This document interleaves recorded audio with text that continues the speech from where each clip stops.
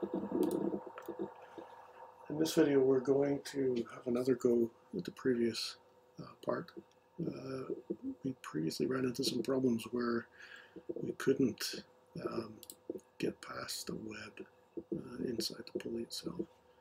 So I'm going to try doing this again, uh, but in a more sort of rebuildy sort of way. I'm going to re-upload the same step. Let's wait for that to go. Uh, it doesn't mind if they're the same name. It might you might mind, but for us, we'll do the same name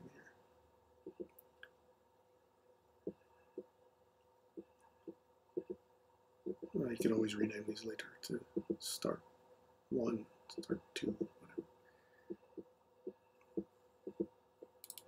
Once that little block shows up, it's ready to open. There we go, the same as before. Shift N, toggling on and off. And I'm going to inspect again to see a section analysis. And we're confronted with the same thing. Now, I am going to turn on history here. So right click at the very top.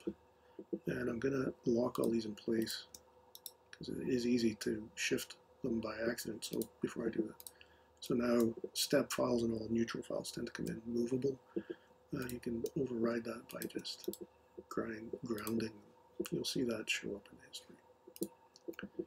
Nice. Now, previously we just, emphasized uh, how to move uh, the upper, the, the pointy part, the, the, part of interest of the pulley. Um, this time we're going to go at it a bit differently. Uh, so I've got history turned on. The first thing I'm going to do is get rid of some of these fillets. Uh, in the previous video, we discovered that I think that they were three and a half. We'll put them back on later. Now, what I'm going to do is actually split this part into two. So the body, split this blue teal guy, and the splitting tool, I'm actually going to use this upper inside edge. Now, using that thing itself, for uh, the move is probably not a bad idea. This gives us a chance to now move the body uh, right over into the into the middle body. Move it. So now it can float free of the web. This is kind of good. So let's uh, move it over as far as we can. Well, as is reasonable, maybe. So let's go for you know, minus 40 is too, I would say too tight, so minus, I'm going to go over 38, minus 38. That puts it more or less in the middle of the two bearings. It's still sitting on top of one, but it's way better than it was before. Say okay to that. I'm also going to repeat what I did in the previous video with the move and the phases. I'm going to try and move this web over as far as I can. So let's move that over. Notice we're kind of pulling up that backside a bit, but we're not shifting, importantly, we're not shifting the inside, and it will eat that inside surface. So let's go over, I believe last time we went over 15. Let's do that again. Say OK. And we moved, we press pulled this guy down four. Okay. So I'm ready here. So let's go ahead here and save this as a ready to stitch or ready to fix. Let's go ready to fix. Uh, when we look in our data panel here, see it's uploading right now, and then we set a save point. We can always come back to this. What's good about that? So I need to attach these two together. Unfortunately, unfortunately that means sketch. What component is this? The pulley. Let's highlight the pulley by clicking the little, the little radio button. Everything else goes out. You can also right click and isolate if you wish. Hides everything. Perfect. Now I just want to connect these two together. So let's do that. If I open this up, I'll see an origin. Oh, nice. and it is centered. Put a sketch on that guy. And I'm going to ask for, I need to project onto it so I can actually sketch from something. So let's go for intersection. So this will, there's two types of things we can use here. We can create a project. If I hover here, we'll see what that does. Projects a silhouette and intersect projects the points, model edges, and so on where they intersect the active sketch plane. That's important. So let's use intersect here. I'm interested in probably just this. Doesn't really matter here, but I can do the whole surface. And probably these two guys as well. Maybe even the top. No, because we see the bottom of that. So it's all aligned. If we hide the bodies, we can see what we've ended up with on both sides. So what I'm going to do here is just add some sketches. So I'm going to go for a curve first. So let's just say a line.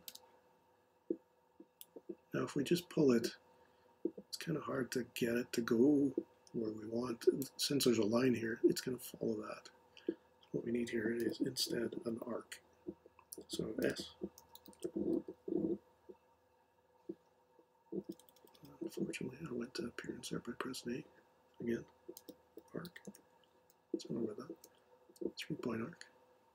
I'm going to snap to this corner and somewhere down in here and get, like, was lucky, got a tangency here. How do I get it tangent up here?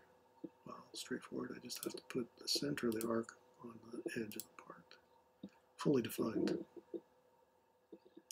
Inside here we now have a sketch palette, a sketch. Let me see, it's fully defined, but no profile, no profiles yet. Let's do another arc. So this arc, three point arc again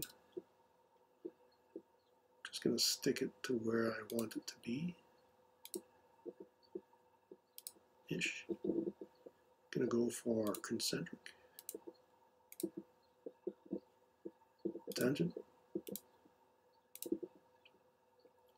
And we're back to fully defined.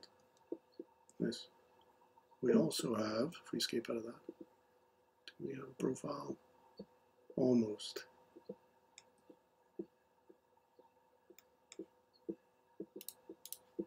So we might have to fill this in. Let's see how it goes.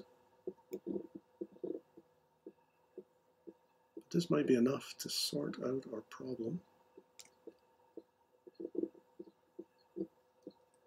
So let's join these up.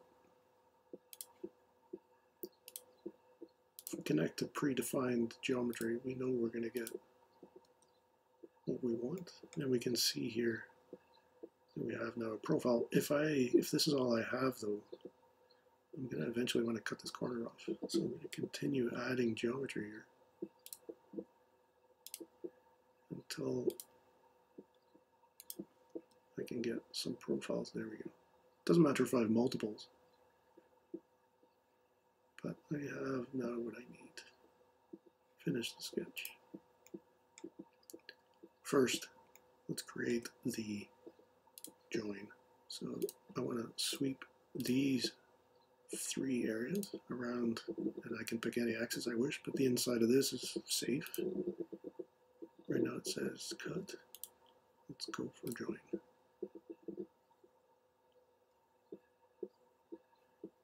Perfect. It might hide the sketch, just turn it back on. If we want, we can rename it. Uh, sweep profile or something like that, or revolve. Profile. So we know what's going on. And we can do another revolve. Now, for those who like fancy stuff, uh, the thing you did last is always at 12 o'clock with the right click. If you want to be really fancy, you can grab and drag to 12 o'clock. You'll just repeat what you just did. Nice. I want this time this profile same axis just to be safe. And it's a cut this time. Perfect. Now, there are fillets on this. In the last video we discovered it was about 3 millimeters. Let's put a fillet on this guy up here in case there's an unexpected stress riser 3.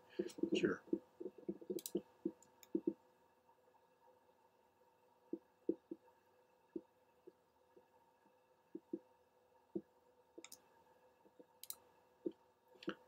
That's not looking too bad. Let's try unisolating. And there's our part. Nice. Go back to the top. We want to click this to go to the full assembly. So I'll get that radio button. Everybody's happy. We're as far over as we can reasonably go. I don't think it's a big deal to go any further with that pulley. Uh, one other thing we could do is uh, drag some stuff over uh, and shorten the shaft, but that's a redesign of the shaft. And we're just going to steer clear of that for now. And there we go. That is option number two. A more invasive, in a way, way to move that pulley over, but it does go further over towards the bearing center, somewhere in here. We can't go all the way because of the wall, but we can go as far as we can. This, of course, always assumes that we can move the belt on the other end as well. But assuming all that, this is our option number two for shifting. A bit more involved, but maybe worth it. Thanks for watching. Over to you.